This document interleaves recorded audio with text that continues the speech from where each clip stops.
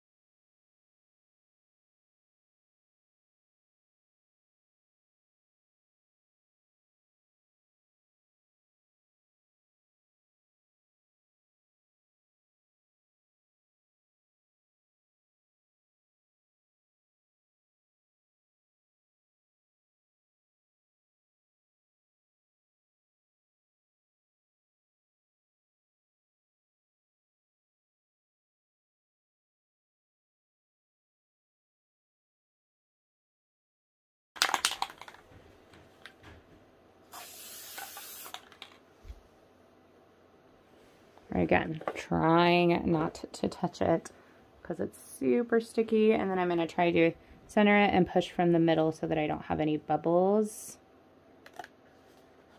Oh no. Okay. Hopefully that is centered. It has a little bit of a give. You can see here I'm able to kind of move it around a bit before it sets into place. I want to make sure that that is, yes, Okay.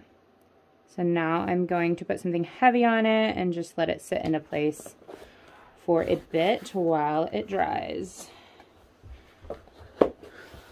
Next, I am going to give uh, the surface of this, since we're removing the glass, again, this paper has a little texture to it, but in order to make it kind of look a little more authentic, I'm going to give it a little more texture and some sealing with Mod Podge and I'm using a matte finish so it won't be very glossy. And to put it on, I am just going to use a cheap old foam paintbrush. I haven't used this in a long time, so hopefully it's still good. Um, oh my goodness, if I can get the top off.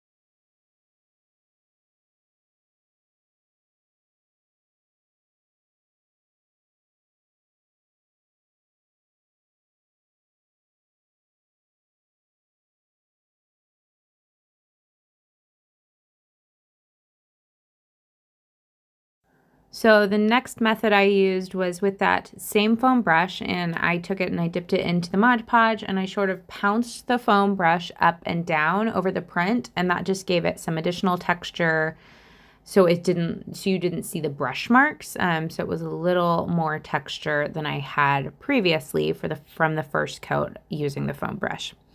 So then after that was all dried, I took another approach for, I just wanted a little more texture to it. Once it dries, it does kind of smooth out. So that's just something to keep in mind. It dries clear, the Mod Podge, and it, the texture will be a little less noticeable as it dries. So you may want to do this process a couple times if you're wanting a really textured look.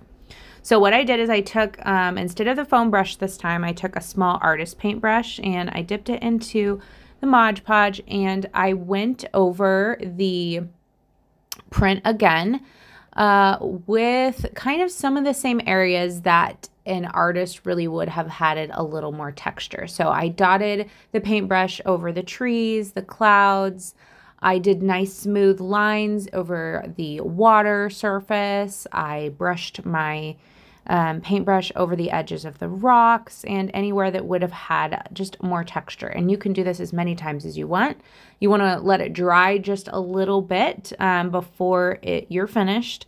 Um, but then you can just go back and do multiple layers of texture and then you can see there as it dries it will get a little more subtle and it will dry clear um, don't worry about smoothing it out too much you just kind of basically want to trace over your painting with Mod Podge okay so I decided to put it here, um, just above the thermostat, just a little extra something. Um, so I did tape it down at the bottom where it just was, it had slid in. Uh, but I'm just using these Command uh, Velcro picture hangers. I use these for virtually everything we hang in our house. Um, they're great, just temporary. They're super strong. Actually, you want to know a little secret?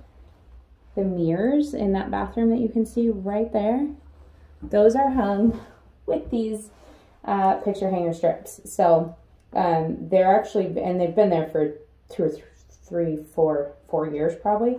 Haven't moved an inch. So um, love these picture hanger strips. So they're great. So we didn't have to drill holes in that tile wall, which was awesome. Um, I'm sure you guys have used these before in your homes, but all you do is kind of press them into place um, for about 30 seconds. And then just take off the other side. And I'm going to center it above the thermostat rather than in the wall. That may be a controversial opinion, but it's my house.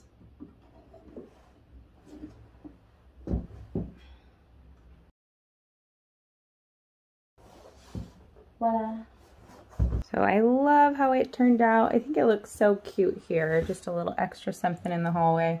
Um, and I like that you can kind of, from this angle at least, see one other piece of vintage inspired art, which I have here in our hallway. I've moved this around. I've had this one a couple, several years probably.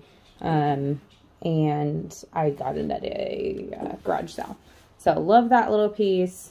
It's there right now. And it looks fun in this little nook over here in our hallway. One thing that I do want to reiterate is that it's super important that you guys put the print back in the frame without the glass. If you have the glare from the glass, it's going to be a dead giveaway that it's not authentic because oil paintings never have glass over them. So if you uh, use this little hack, let me know, guys. And you can definitely use the same concept on a larger print too. Uh, you just follow the same step by step and use it on a bigger print as well. So let me know if you guys try this. I would love to hear how it goes for you. And then just let me know if you have any questions. And then while you're here, we would love it if you'd subscribe to our channel. We are here on a weekly basis sharing DIYs, renovation hacks, and just little things that we pick up along the way little fun hacks just like this little craft. So uh, subscribe to our channel, but just click our little picture here. And then while you're here, watch this video next. I think you'll love it. All right, we'll see you next week. Bye.